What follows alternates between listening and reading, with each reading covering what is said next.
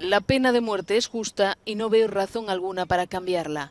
Así se ha referido el líder de la autoproclamada República de Donetsk, Denis Pushilin, a la condena a muerte dictada la semana pasada contra dos británicos y un marroquí, acusados por los separatistas prorrusos de estar en Ucrania como mercenarios y terroristas.